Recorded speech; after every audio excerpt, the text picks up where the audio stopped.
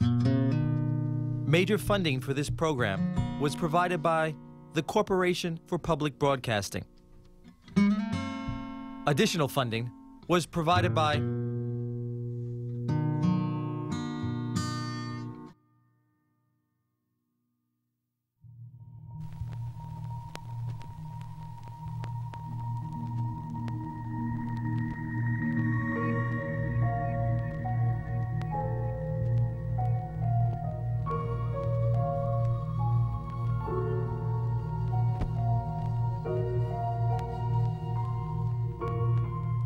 I truly believe that Forrest Carter was trying to raise the American Indian image to its highest ideal.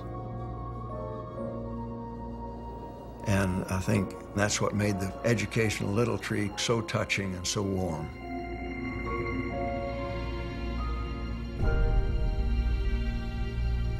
Little Tree was the story of his childhood as an Indian boy. He had grown up on a reservation and he was orphaned. He was taken away from his grandparents. He was raised by these missionary types. And he got through this, and he got through it well. I started reading it at work, and I cried at my desk while I was reading it. The education of Little Tree captured people's emotion and it was about being proper and helping a fellow man. It's meant a lot to a lot of people. Forrest is a, a wonderful human being. I kept thinking, I'm lucky to know him.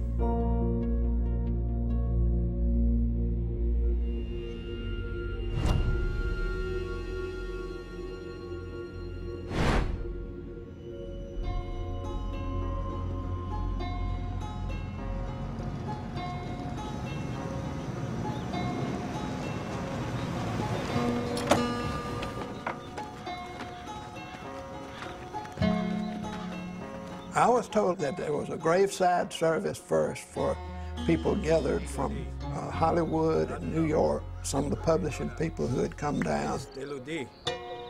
India and, and the children were there at the same time. And these people left. And an hour or two later, the whole family went back, and uh, uh, there was another service for uh, somebody called Asa Earl Carter. We commit Asa Carter to his final rest and to your eternal I understand that they had put a headstone as Forrest Carter, and then they changed it to Asa Earl Carter. And there was quite a bit of interest in who was it.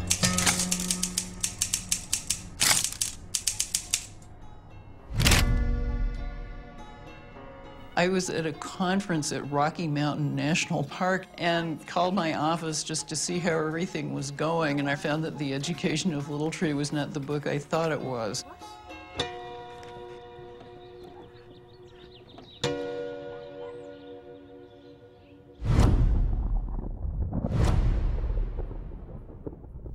I was, you know, astonished, of course.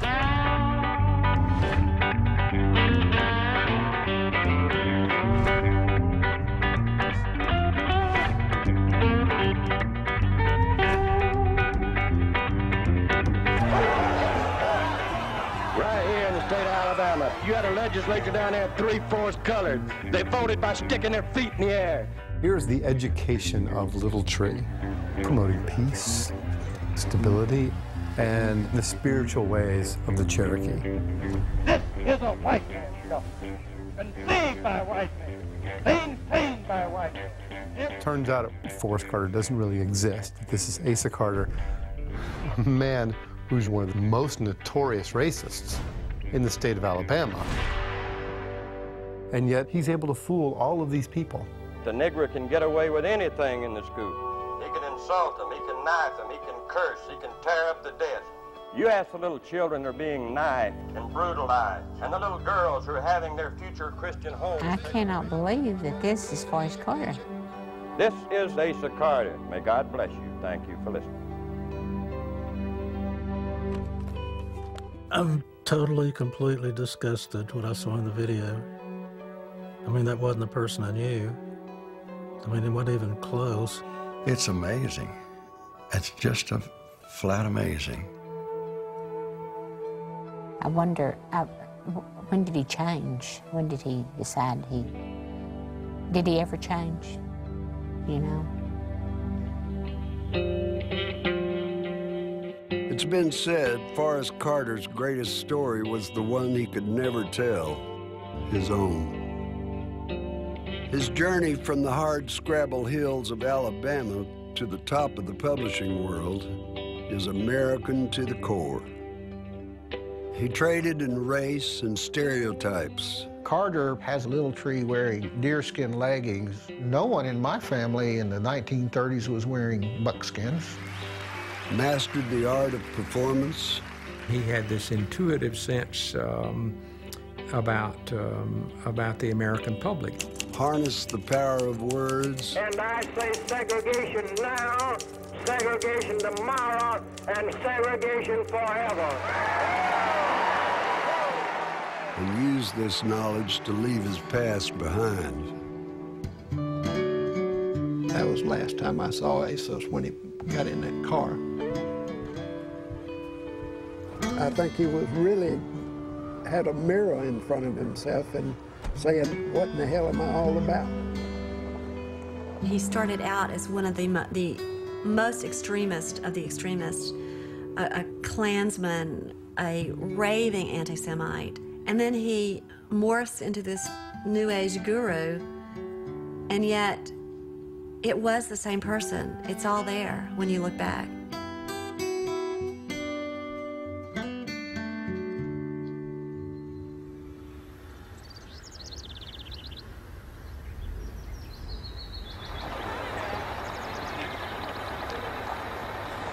On a late summer morning in the small town of Clinton, Tennessee, 12 African American students set off on one of the first attempts to integrate a high school in the South. Classes got underway without violence or protest. However, a group of men had traveled to town intent on stopping the integration. They handed out protest signs and organized nightly rallies where the white citizens of Clinton were introduced to Ace Carter. In the South, we have 98% Anglo-Saxon races, not counting the Negroes. These are responsible people who erect free government and who have stood up and told the Negro, you must operate, you must conduct yourself from a separate state. But the communist says, one world government, one world economy, one world geographically, and a one world race. In the 1950s and early 1960s, white Southerners really felt under siege. The Supreme Court decision had really ignited a kind of movement that, that was not going to stop. And there was a rage about how the poor white South had been oppressed by the federal government. The white people can't get no wealth south. White always supposed to get wealth, I can't get it, but I'm a white man. And Carter was able to tap into that, I think. He and some others at the time were kinds of geniuses at appealing to a very clear set of white paranoid concerns. One was sexual fears, among other things. What are your plans here in Clinton? Well, our immediate plans are the, is the immediate protection of our wives and our daughters and our mothers. In the other was economic competition between poor whites and poor blacks. If you were a white coal miner, you were constantly under threat of being replaced by a convict or a black worker at lower wages.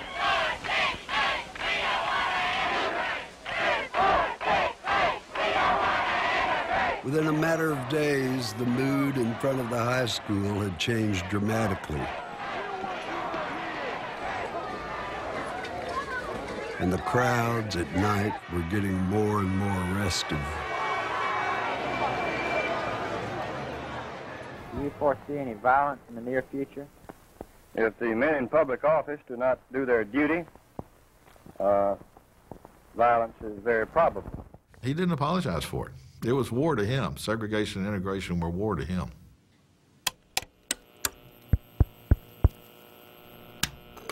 Well, I'm proud to be a redneck. My father's a redneck, and my grandfather was a redneck. They have the principle of the Southland of freedom from government. They believe in racial integrity and a Christian ethic for a home. And if that's a slander, then heaven help us if we consider it such. And I'm saying nothing. Ace's public career had started two years earlier when he landed a job at a radio station in his home state of Alabama. I think in a lot of ways, he's able to create Forrest because he had already created a persona. This is Ace Carter. There is Asa Carter, the person. But more importantly, to sort of 1950s, and 1960s Birmingham, there is Ace Carter. And Ace Carter is also, I don't want to say fictitious, but certainly exaggerated. Carter used this persona to promote his message to white audiences throughout Alabama. You must conduct yourself from a. Asa Carter is a professional white supremacist. That's not to say he was not racist and anti Semitic to the bone, but to Ace Carter and some others at the time, racism was their product. Racism was what automobiles were to car dealers. Over the years, he started a magazine, sold audio essays. Now, you may receive five essays by mailing in $1 per week or $4 for the complete month's essay. He even had a hotline. Asa had a recording that you could call and get our, our latest propaganda, you might say. And judging from the crowds that greeted him when he showed up in Clinton, Ace was a smashing success. We shall not submit to Negro dominion another day, another hour, another moment. And if the federal government say this be treason, then let them hear it. Behind every ballot is a bayonet. Are you cowards? Or are you an Anglo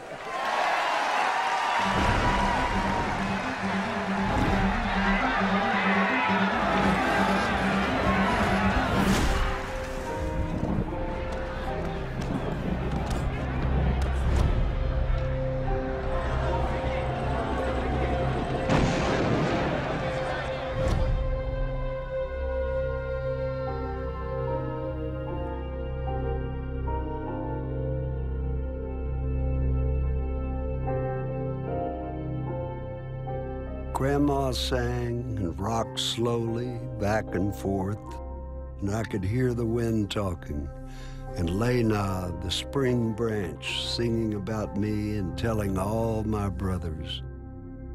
I knew I was a little tree, and I was happy that they loved me and wanted me. Forrest Carter, The Education of Little Tree. I tried to see him as that racist, but it just didn't fit, as far as I knew. He was just quiet and, and uh, A very genteel person. I've never changed my feeling. I'm so glad I did get to meet him.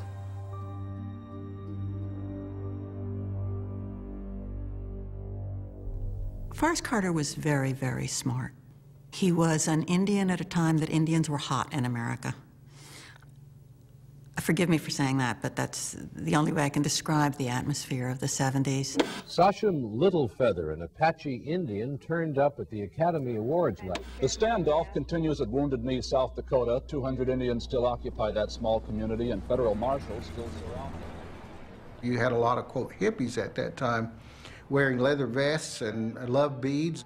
There were experiments with communes that would suggest that they were a tribal kind of folk, and uh, Forrest Carter, he certainly was aware that that kind of movement was going on in America.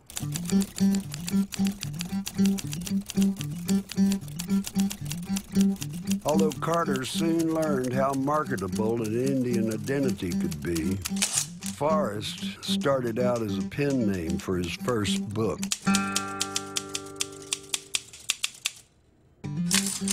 Asa Carter took as his pen name Nathan Bedford Forrest Carter, named after the racist uh, Confederate general who had founded the Ku Klux Klan. The protagonist is this unreconstructed rebel who uh, refuses to uh, go along with the new reconstructed South and instead moves to Texas. It was very much of an anti establishment, anti government. It was just the right thing for the right time. I mean, you have to remember this was the early 70s, and everybody, you know, was, was sort of on fire about being against the establishment, against the government.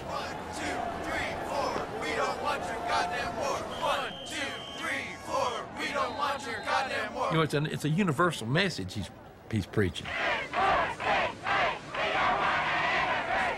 It appealed to liberals, it appealed to conservatives. And it's kind of, you know, the way you, you put the icing on it, you know, who, who uh, likes the message.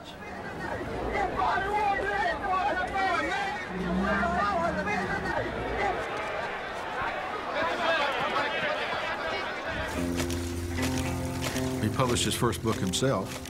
It seems to me it was uh, maybe a thousand or two thousand books. You know, was kind of peddle those through mail order and uh, out of the trunk of his car, that kind of thing. I was producer with Clint Eastwood, and I always had the habit in those days of when the day was over and I went home, uh, I would take something to read. And so I rummaged through the pile, opened this one envelope, and it was a book called The Rebel Outlaw Josey Wales. And I took it, proceeded to start reading it around 9 that evening while I'm having dinner. Couldn't put it down, read it straight through, thought this is a natural. So I called Clint up at his home in Carmel, and he said to himself, for Daley to call me and wake me up, it must be pretty good. Clint Eastwood is the outlaw Josey Wales. Your first offer for a first novel would often be 5,000 or under. And this was at least 20, I think. Oh, wow, is what he said on the phone. That's really good. No one had ever heard of Forrest Carter. People want to know who are you? Where did you come from? What sort of person could be off the radar for this long? He needed a story. He needed something to explain his past. He would tell people that he's half Cherokee, that his Cherokee name is Little Tree. His parents were killed in, and in a wreck or something. Then he was raised by his grandparents in Tennessee. Until he was 10 years old when they both died. And then he's, uh, he's on his own. He said he was going around looking for work and he didn't have any money and all that. He would, you know, train horses or just do anything. Later on, he became an official storyteller for the Cherokees, I believe. He knew what he was doing at every minute. He was handling me, he was handling the publishing world, he was handling Clint Eastwood, he was handling our LA office. They weren't handling him. We weren't handling him. Some people find it odd that this racist would be uh, so sympathetic to Native Americans, but in fact, he uses Native Americans as a kind of stand in for white Southerners. Native Americans have been victimized by the federal government. Their culture has been destroyed in the same way that white Southerners, but you can't, you can't say that about white Southerners.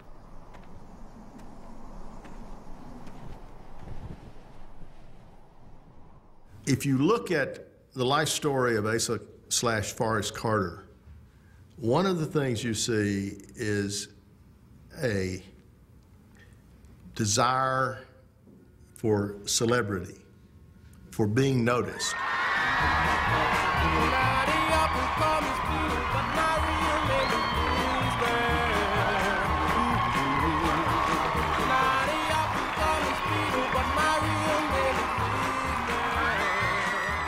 The and vulgarity of the rock and roll music is obviously a means by which the white man and his children can be driven to the level with the niggers.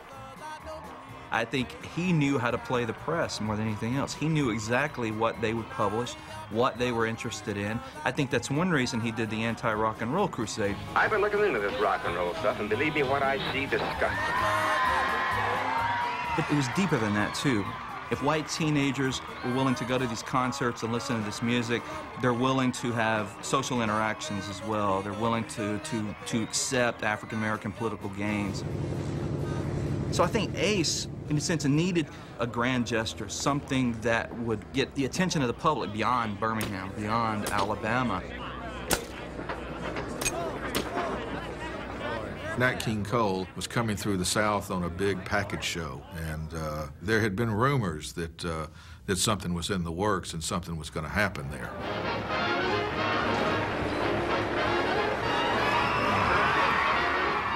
That night, Nat King Cole was in the middle of his second song. Dear, when you smiled at me, I heard a melody.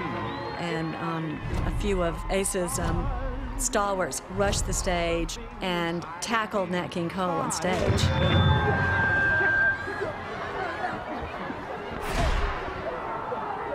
There was a car waiting outside, and they had this, this nest of weapons outside. They had brass knuckles, they had a couple of uh, 22 rifles.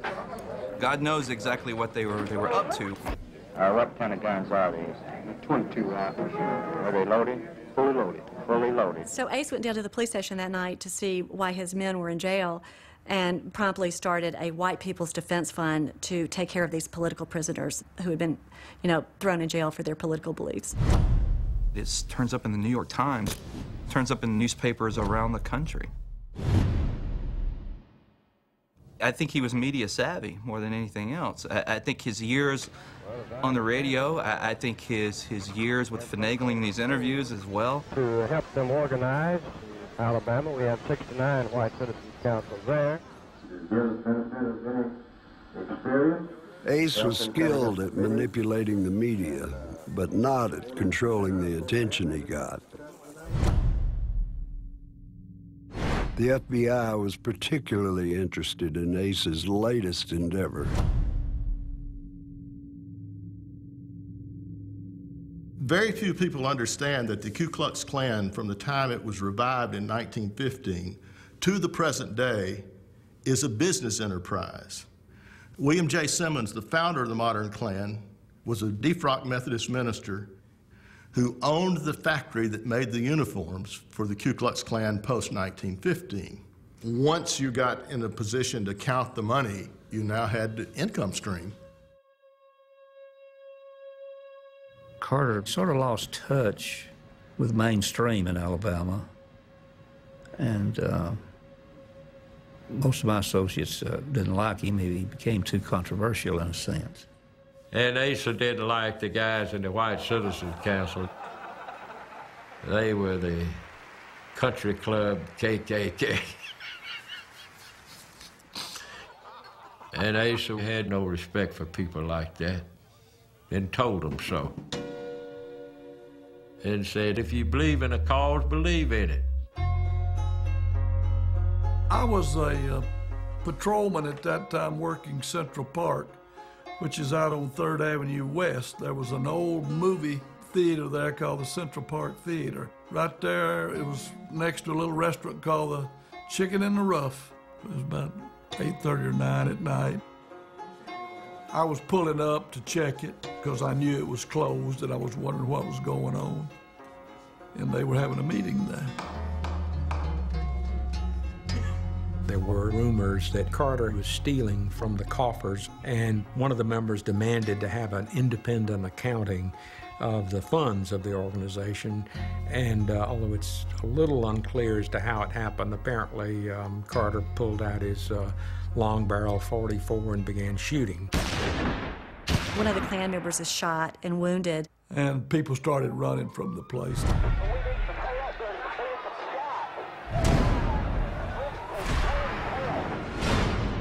He uh, mounted what I think of as the Wizard of Oz defense, saying that he was actually in Tuscaloosa organizing at the time, and that the voice heard from the stage was actually a recording.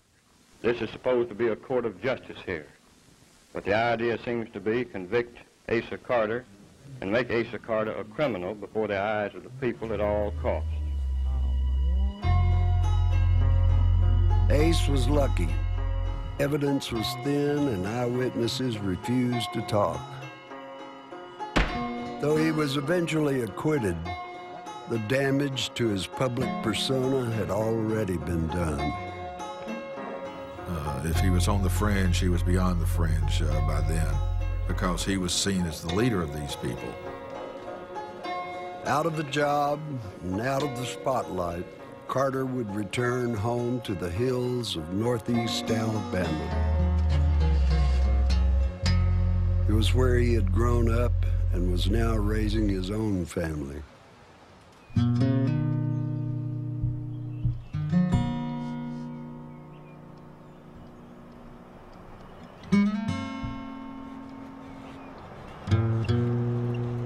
Ace was one of the most complex people I've ever known. And you wonder uh, if anybody ever really knew him. Sometimes I wonder if he ever really knew himself. You know, every time you meet somebody who, who knew Ace, had contact with Ace, you know, they, they always say the same thing, that I don't think I really knew the guy that, that well.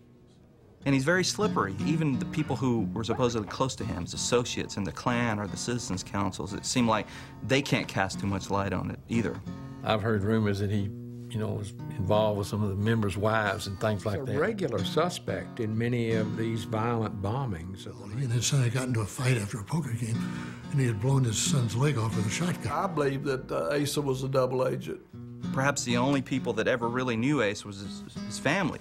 And he tried to keep them completely separate from this career as a race baiter, as a segregationist, uh, as a Klan member.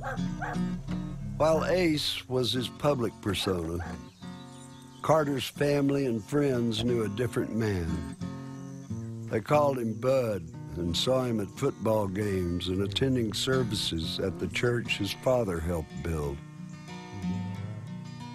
So here's Bud, Asa, Ace, and Forrest.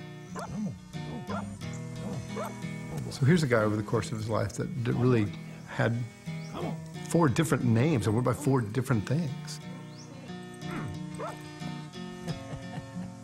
Over the next few years, Carter would support his family by working on a dairy farm and in a bottling plant.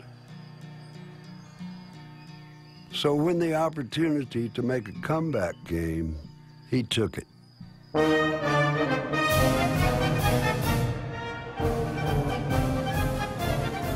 It was the spring of 1962, and George Wallace had launched his second campaign for governor of Alabama. The first time around, he was endorsed by the NAACP and had lost to an ultra-segregationist. Wallace was determined not to let it happen again. Wallace had made an appearance at the Anniston Courthouse. So um, Carter went up to Wallace with some sample speeches, and he said, um, "Call me, you know, if you like what you read." And Wallace used that material that night at the convention center in Gadsden. There are those who say, oh, it cannot be done. Well, in 1876 it was done. It was the Electoral College that took the Reconstruction troops out of this section of the country, and they removed the troops off of the backs of all the American people, wherever they might be in this country.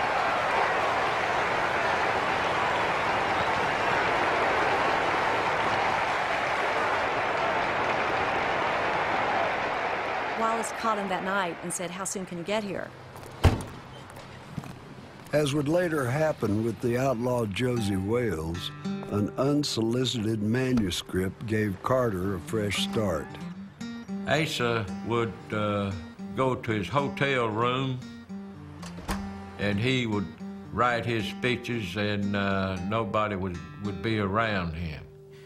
He would take his typewriter, a couple of cartons of cigarettes, and maybe a little whiskey as well. He would get sort of wound up. He would be just kind of red and work himself up into this almost physiological frenzy. He would be chain smoking and perhaps drinking. He would get on this kind of um, writing high. Banging away at this stuff on a, on a steady diet of Pall Malls and vitriol. And he would work almost nonstop. If Asa Carter never written his speeches, he'd never been governor.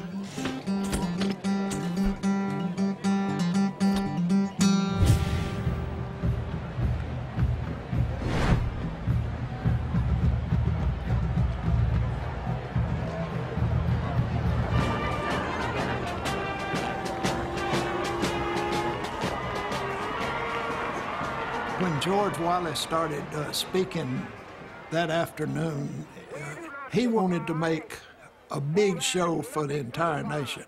Let us send this message back to Washington by our representatives who are here with us today that from this day we are standing up, and the heel of tyranny does not fit the neck of an upright man.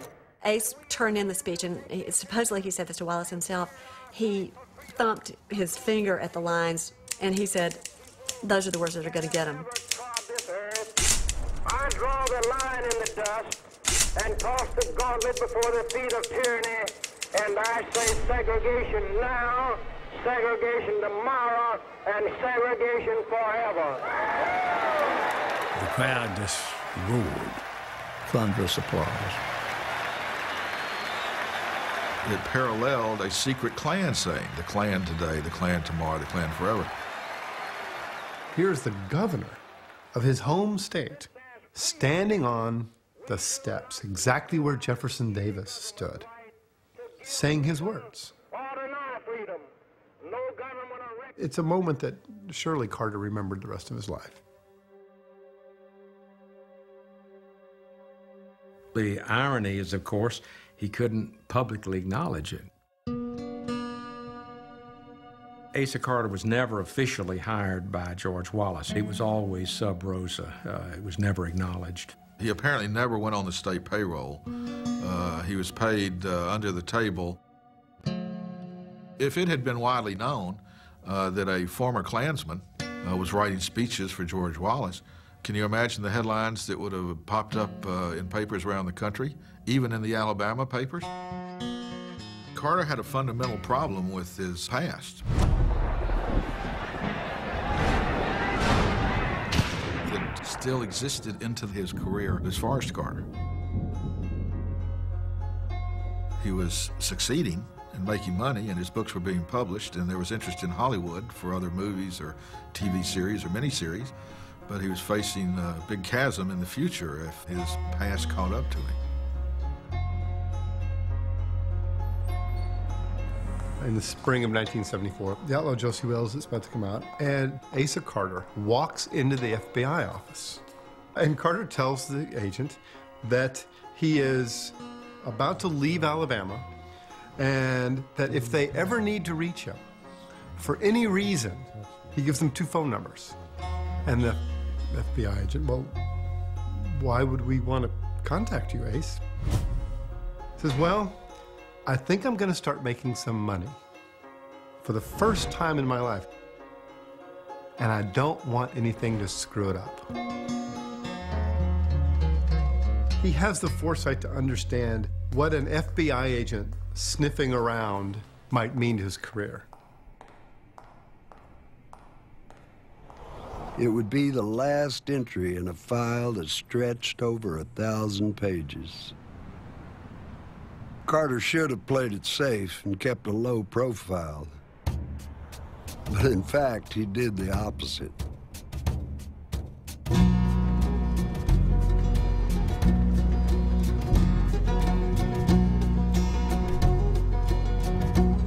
Carter and his wife set off for West Texas. There they joined his two sons, and they all played along as Forrest became much more than a pen name. I was the first to meet Forrest Carter. He walked into my store and asked me if I had a copy of Josey Wales.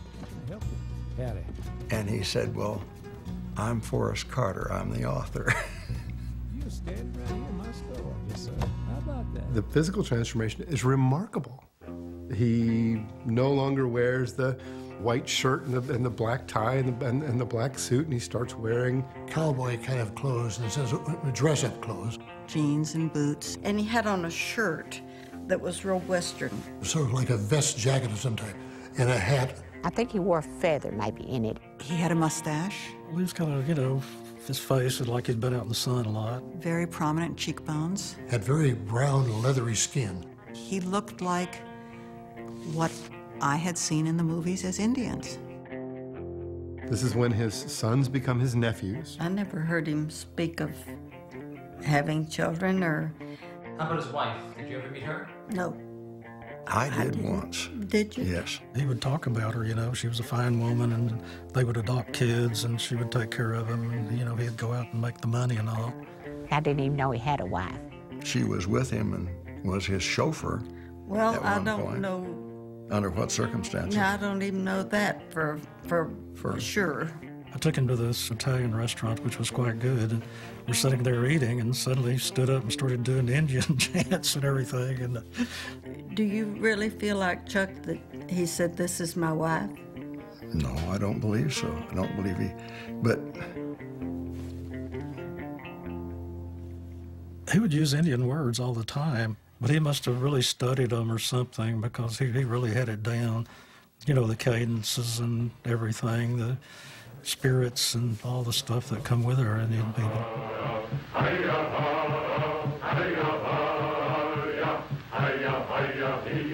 I would suggest that Carter knew what stereotype he had to to present to uh, his his editor, his publisher. Mark Twain said that uh, people wanted the American Indian painted. In essence, people wanted readily an American Indian stereotype rather than uh, the actual person. There was one commercial in the 1970s and featured a character known as Iron Eyes Cody. Some people have a deep, abiding respect for the natural beauty that was once this country. It turns out Iron Eyes Cody was actually an Italian, People start pollution. People can stop it. but he would put on beads and feathers and people readily accept him as Indian. The education of Little Tree fits into that sort of magical, mystical idea of American Indian people. Little Tree had the ability to communicate with the trees, that they would talk to him and he could talk to the stars. I certainly wish that uh, I was magical and, and mystical, but I'm not, and I don't know any Cherokees that are. If we were, you know, there wouldn't be uh, many white people in America right now. I mean, that, that's my feeling about it.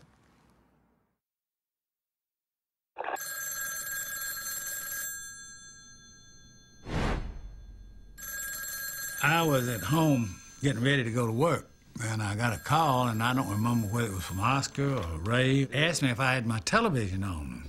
I said no, and said turn it on to, to channel 12, I believe. Good morning. This is today. I'm Barbara Walters with Jim Hartz here in the NBC. There was Barbara Walters interviewing Ace and uh, talking to him about Outlaw Josey Wales. And I said to myself, this would be interesting. What in this new book? How he would be able to pull one over on Barbara Walters. He had on his cowboy thing and his hat and his uh, 10 gallon hat, and he was smiling pretty big. And looking down, he never would face the camera. She would ask him his questions. Are you a real cowboy, Mr. Mr. C- Bar Carter? Yes, ma'am. I was raised by my Cherokee grandparents, uh, uh, and uh, they taught me a lot about uh, about life. I don't know how you found out about John uh, Josie's barn. I had to laugh thinking about if Barbara Walters knew who she's really talking to, she, she, she'd be the trail out of that. It's pretty clear that he likes the role of of a writer being at the center of attention in, in the same way that he liked the role of being a political leader in the 1950s and 60s.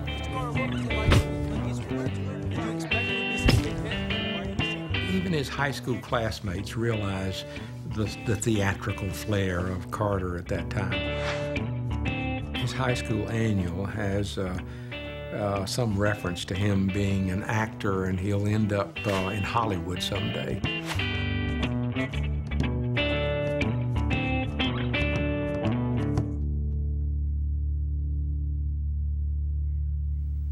I think it, I think it speaks volumes about our ability as individuals uh, in contemporary America to create who we are and what we stand for. And in so many ways, one of the most glaring examples of this is George Wallace himself. Our guest today on Meet the Press is Governor George C. Wallace of Alabama. His state is the only one in the country today whose schools are completely segregated. Next week, the issue heads for a climax when two Negro students will seek to enroll at the University of Alabama. A decade before he created Forrest, Carter learned a valuable lesson. The national media had descended upon the University of Alabama for the integration battle, and George Wallace was going to give them quite the show. I want to welcome all of you folks from Alabama. I'm sorry to disappoint you that you're not going to see any violence. Uh, George Wallace knew he was going to have to back down, but he thought his political future rests upon taking a public stand against uh, integration, confronting the federal government. Carter was a, a, very useful kind of person in terms of making sure that the script, and that was a scripted confrontation, went as he wanted. The unwelcome, unwanted, unwarranted enforcement intrusion upon the campus of the University of Alabama, the day of the might of the central government offers frightful example of the of the rights and privileges. Wallace timed the whole thing so that he could have a confrontation in the morning. Governor, I'm not interested in the show. I don't know what the purpose of the show is. I would ask you once again. And then he delayed his capitulation. And the image that was stuck in people's mind was of Wallace resisting, even though, in fact, he gave in.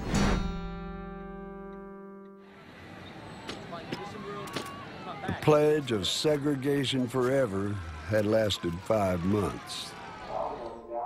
And while the integration may have made Asa's stomach churn, the whole charade had worked perfectly. George Wallace was now more popular than ever.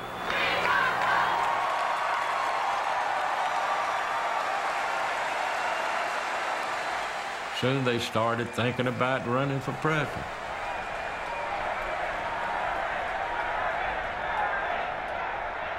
Carter thought that Wallace would take his segregationist message national. I want to say this about race. I have never in my life made a speech that reflected upon anybody because of who they happen to be, and I don't intend to do so here in Missouri today. But Wallace was embarking on yet another reinvention with the goal of becoming more palatable to a national audience. There was one speech that Carter had written to be used at Harvard, and uh, the afternoon that Wallace got ready to deliver it, he looked at it and said, "This is not going to fly," because there was explicit, there was some explicit racial material in it. This is not race I'm talking about, and every time I mention this, they say this has racial overtones. When has it come to have racial overtones in this country to stand for law and order?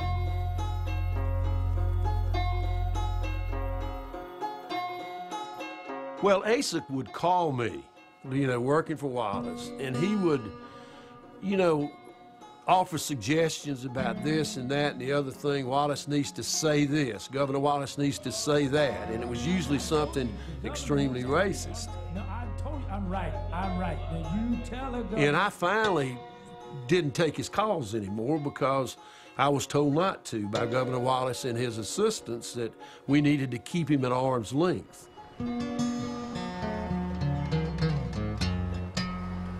Asa was a very proud man.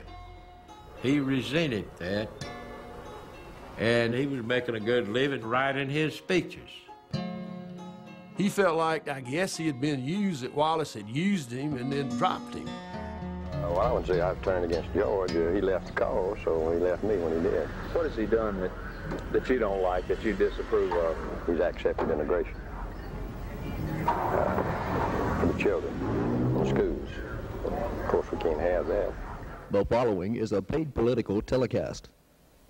Ladies and gentlemen, my name is Asa Carter, candidate for governor. In the spring of 1970, Ace Carter returned to the public eye. He joined the crowded race for governor, taking on his old boss, George Wallace. the Civil Rights Bill. No one had really paid any attention to Asa for many, many years. You know, maybe after laying low, he most likely craved the limelight again.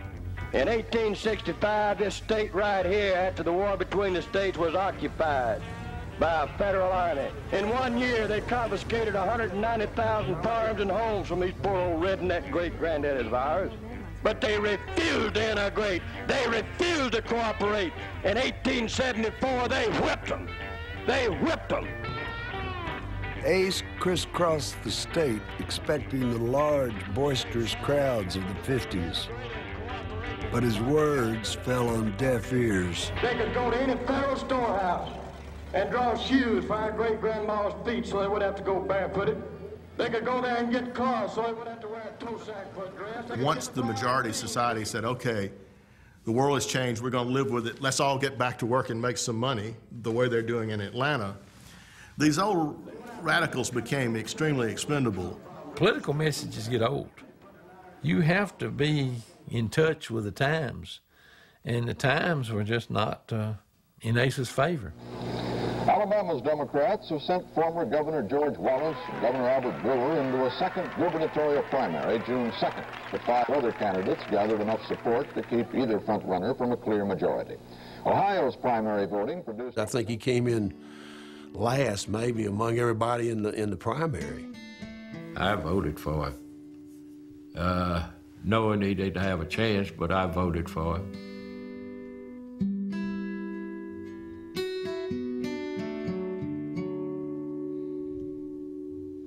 I think at the end of his campaign, he realized a political battle to maintain white supremacy, to resist integration was over. And he's already begun that shift to the righter thing. A few days before the election, a subdued Carter had appeared on television for what would turn out to be the last time. You'll excuse me a moment, I'll get this microphone on. Some people say, well, maybe Asa Carter would be governor next time. There's not going to be a next time. There's not going to be a next time. I appreciate you allowing me your home on this final telecast. And I certainly appreciate you remembering me and my family in your prayers. May God bless you. Thank you for listening.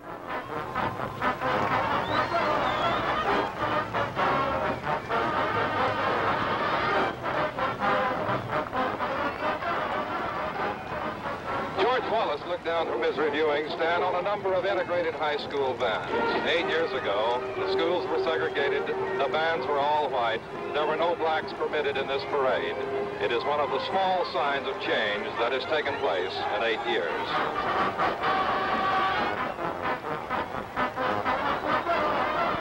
I saw Asa among the crowd, and he had these these signs, he and his buddies, you know, saying, keep our, our schools white. And after Wallace spoke that, that afternoon late, I saw Asa, and we sat down on the stairs behind the Capitol. We sat there and, and talked, and uh, Asa talked. And Asa told me, he said that, uh, you know, George Wallace is sold out. He said he's phony. He said he's just not the person he used to be. And he started weeping. I think he was really had a mirror in front of himself and saying, what in the hell am I all about? That was last time I saw Asos when he got in that car. Every once in a while I'd hear from him, but very seldom after that. He had to move on for greener pastures. Uh, uh, they're saying uh, looking up taller trees for bigger berries. And that's when he started uh, writing.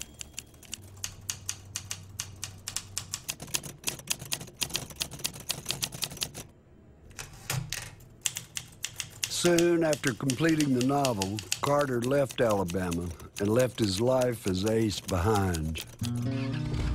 There is a remarkable parallel between his story and Josey Wales' story. The Josey Wales character refuses to go along with the new reconstructed South and instead moves to Texas.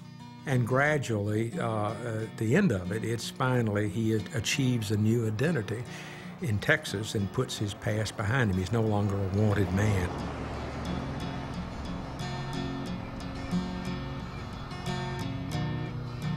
Think one of the key mysteries to Asa is that he had the spiritual capacity to create the kind of fiction he did.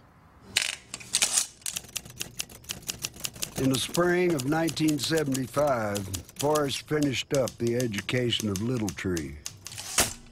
It was unlike the violent westerns he had written, and his publishers were worried that it wouldn't find an audience. Once it came out, however many copies we printed were just gone like that. And we did a second printing immediately, and that was gone. It just wouldn't stop selling.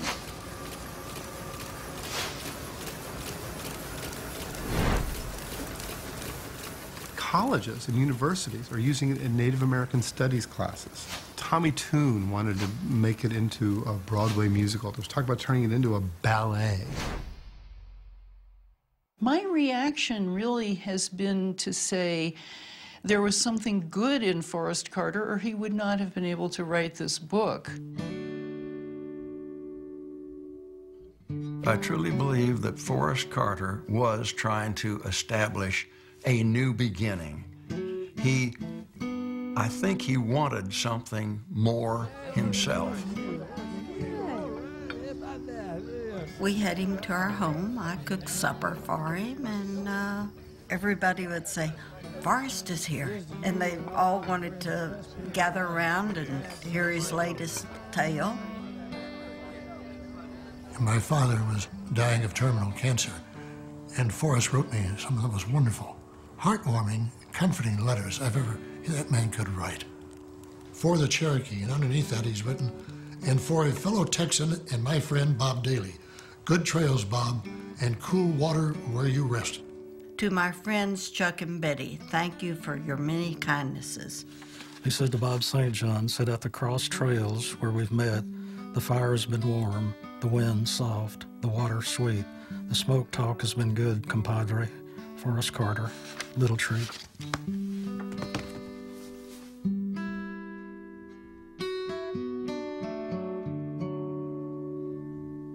As far as, uh, you know, a change of heart, uh, finding the light.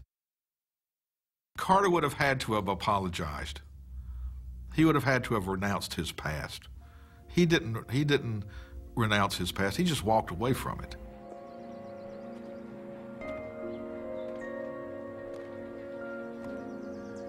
Can we ever know the real Ace?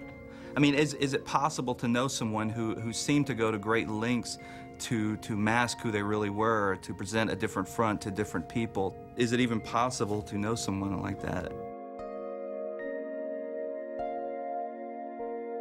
In 1970, we had a, a representative named Ray Burgess. Who Ray told friends uh, this story. Asa Carter was asked to give the keynote address at a big racist convention in Jackson, Mississippi. And uh, Ace wrote the speech, and then he asked Ray to give it. And uh, when he got to the convention, Ray gave it everything he had, and he had those old boys standing on their chairs practically, whistling and cheering and whooping. And uh, after the convention, he turned to Ace and said, Ace, I don't understand you. If I could write a speech that good, I wouldn't give it to anybody else. I'd give that speech myself.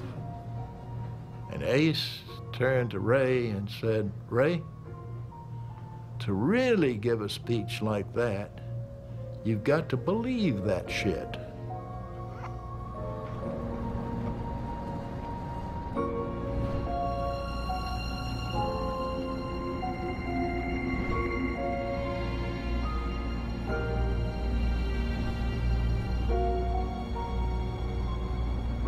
Well, I am just an old rebel. Reckon that is all I am.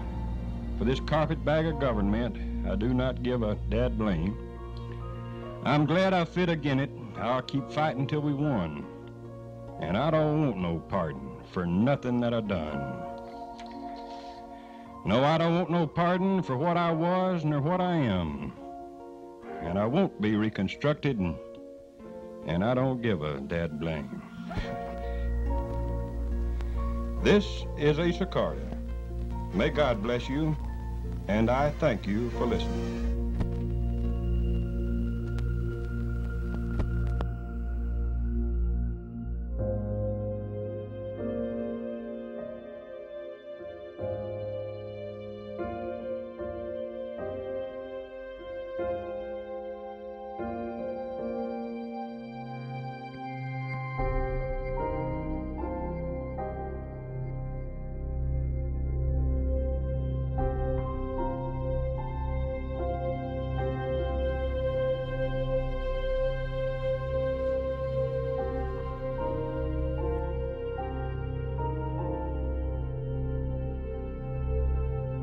More information about the reconstruction of Asa Carter and other ITVS programs, visit ITVS online at itvs.org.